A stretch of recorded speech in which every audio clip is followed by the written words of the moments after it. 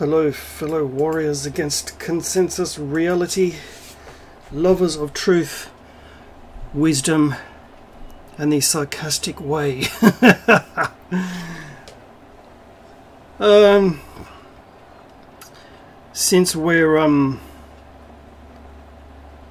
talking about Karens and uh, entitled mouthy women getting their way. Yes, I'm talking about Kathleen Kennedy. And uh, the whole fandom menace at the moment is an interesting exercise in, well, brainwashing, I suppose, human behavior, human reactions. Um,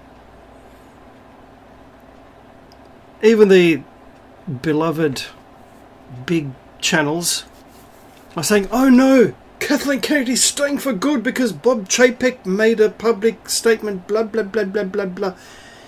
Yeah, well, he has to, otherwise, what do you think's going to happen to the stocks for the company?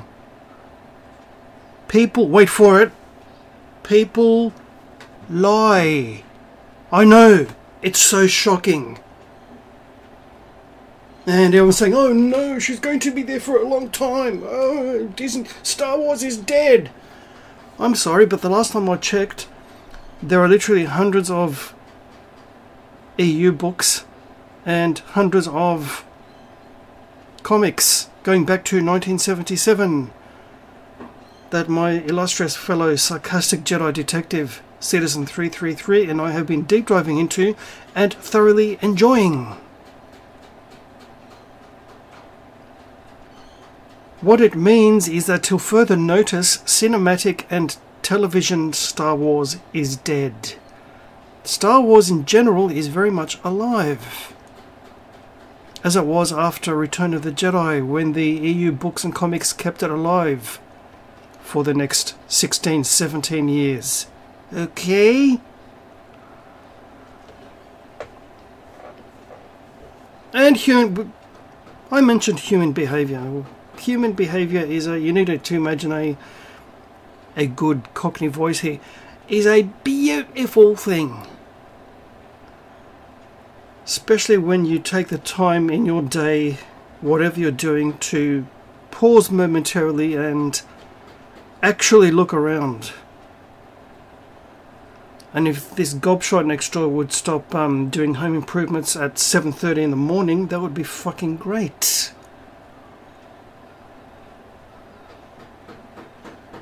Yes, I know. The house and home ownership is your whole fucking life and the point of your pathetic little existence. I know. Oh, and reproducing, of course. Because, oh, you need to pass on your legacy. Which is, um, ego mind code for, oh no, what happens when I die? How will I be remembered? So I'll just create a um, clone of myself um, pass on my DNA, and that way I will live on. Yes, people are that stupid. We are not our meat bags. Our meat bags are not who we are. They are the vehicle through which we experience humanity. There's a freebie for you. However, when someone takes the time to look around and um, study people wherever one finds oneself in one's everyday life, um, there is much amusement to be had. Especially yesterday when um, I went to one of my beloved cafes and uh, lo absolutely love the place. It's uh, one of those wacky, weird, um, as unserious as possible kind of cafes where an assortment of eccentric, weird, and wonderful characters flock and congregate. And um, I was sitting down, I had ordered my, my breakfast and my coffee. And then this fucking gobshot could actually just shut the fuck up for a couple of minutes, that would be fucking great. May I suggest using the hammer on your head? Australians and their home ownership. Seriously, it's the one thing I will never understand living in this country most of my life. You people are fucking insane. You don't own the land in this country. You're paying one and a half million dollars for a fucking building, which you spend the rest of your life, and then when you die, the mortgage passes on to your children. How fucking stupid is that?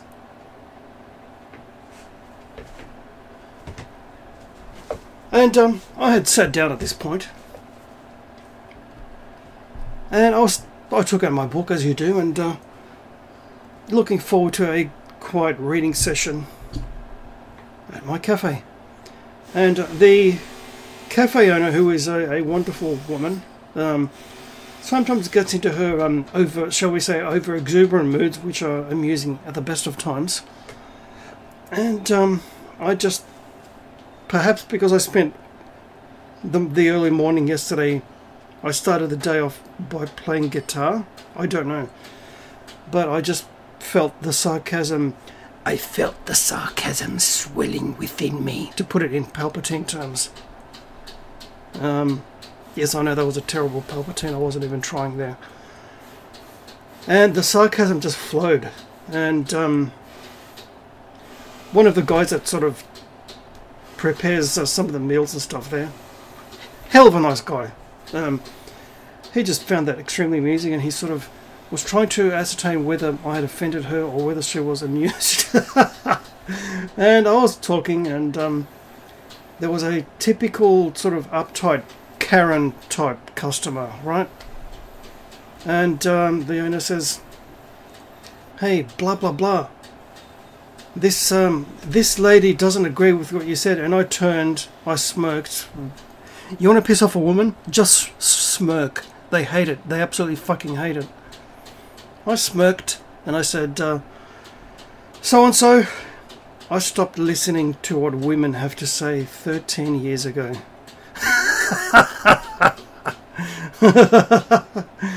and um, the gentleman who was behind the counter making the um, the food, he was killing himself laughing, and uh, she was sort of, both of them were were shell shocked.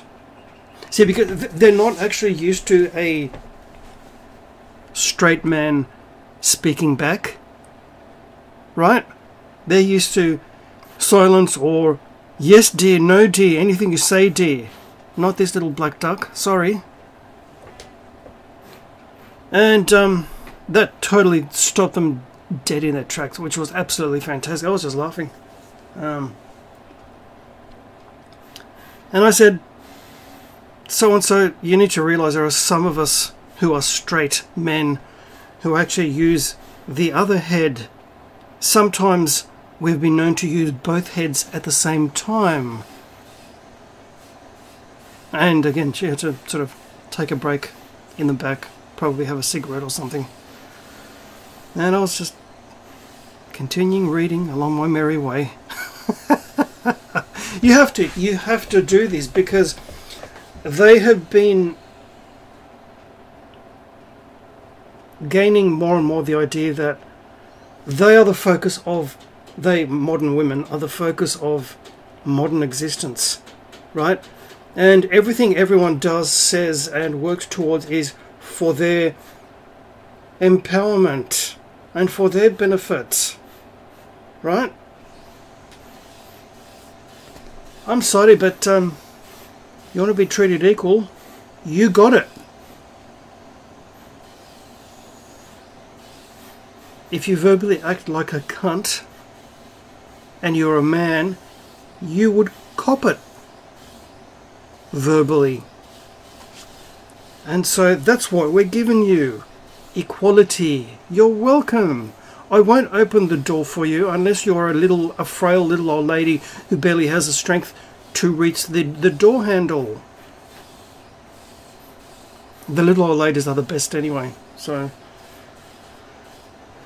can't tell you how many times during my old job um, the the little old ladies in their 80s would would uh, we would comment about talk about life or whatever in those brief moments and um, upon hearing that I've been a monk for 13 years they would look at me and say You know what, darling?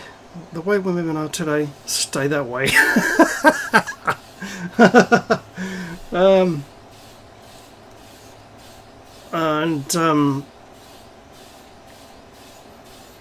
the shock I find when when you deal with Karens of all descriptions and all variations and and um, frequencies, um, intelligent, witty banter and especially sarcasm, uh, they're not equipped to handle because they're usually the the modern straight man in their eyes is a silent, muzzled gimp. Designed to give them money, which would kind of make them prostitutes. But anyway, they're not used to men actually answering back, uh, which I find absolutely fucking hilarious, by the way. And so, um, that's where we find ourselves. Um, amusement you don't get upset you don't allow yourself to be to react negatively you develop the ability to come back with the witty one liners with sarcasm and um, again when you're enjoying a nice little exchange with um, the owner and some of the, the regular people at said cafe and you sort of turn to her and say, You know what this place is? This place is cheese on crack. And that's the way it is. That is your weapon, gentlemen.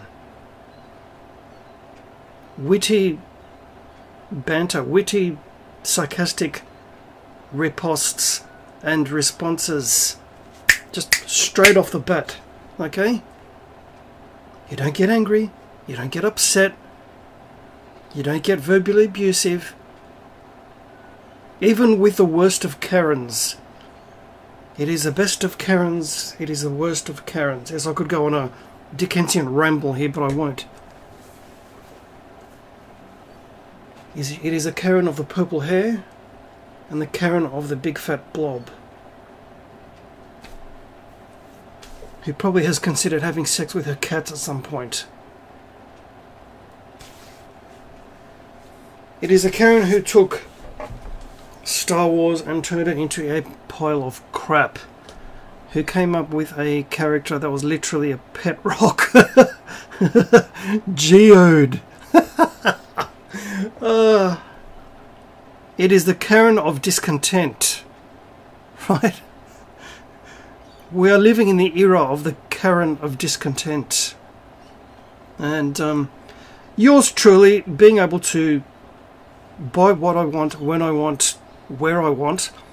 Um, went out of my way to buy yet another guitar, and it should be delivered within days. So, looking forward to that. It's a um, a Chapman guitar this time. I've always wanted one. I've never had one.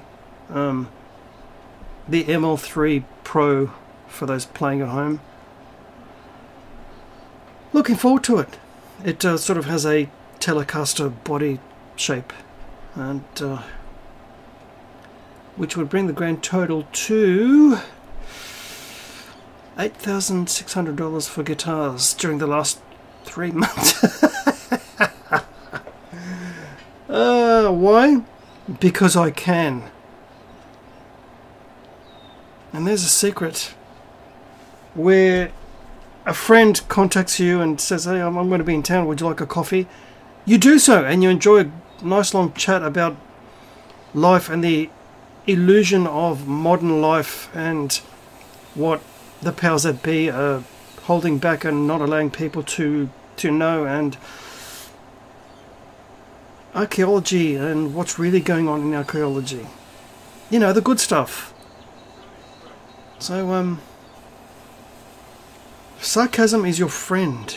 Always remember witty good-humored sarcasm is your friend never ever ever engage in the game that a Karen engages in because she will beat you over the head with experience and beat you.